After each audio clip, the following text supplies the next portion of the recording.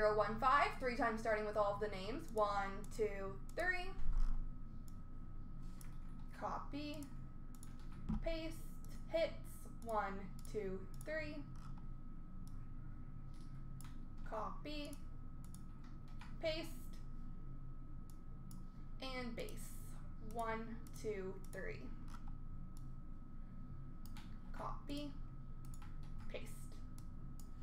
All right, the empty box goes to Flo. The Potvin base auto is going to Link. The Gretzky Team Canada signature is going to Mike S. With the Mason Team Canada signature is going to Mavy. The Perry Jumbo Patch is going to JB0083. The winning standard quad auto is going to You Got to Go, and the Hodgson Team Canada signature is to G Gagnon.